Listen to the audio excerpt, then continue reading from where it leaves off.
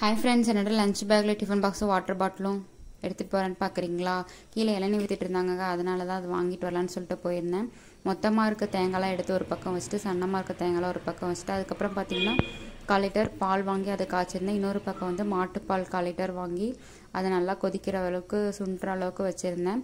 அதில் தேவையான அளவுக்கு சர்க்கரை போட்டு நல்லா அந்த பாலை வந்து ரொம்ப சுண்ட விட்டு வச்சுக்கணும். அப்புறம் பார்த்திங்கன்னா நம்ம சன்னமாக இருக்க தேங்காய் எடுத்து வச்சுருந்தோம் இல்லையா? அதை எடுத்து நம்ம பீஸ் பீஸாக நமக்கு தேவையான அளவுக்கு சின்ன சின்னதாக போட்டுக்கணும்.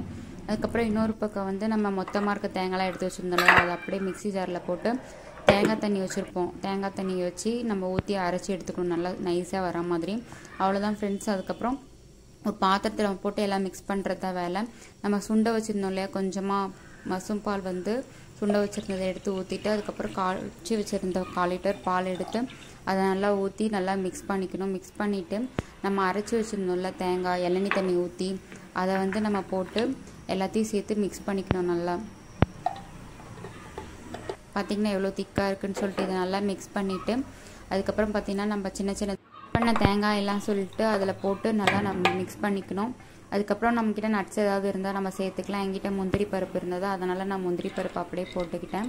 இப்போ வந்து பார்த்திங்கன்னா நமக்கு தேங்காய் தண்ணி இருக்கும். தேங்காய் தண்ணி மீதி இருந்ததையும் அதில் ஃபுல்லாக ஊற்றி நம்ம தேவையான அளவுக்கு எவ்வளோ வேணுமோ அவ்வளோ ஊற்றி நம்ம நல்லா மிக்ஸ் பண்ணிக்கணும்.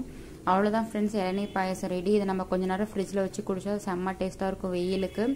பாய் ஃப்ரெண்ட்ஸ் வீடியோ பிடிச்சிருந்தா லைக் பண்ணிக்கோங்க. பாய்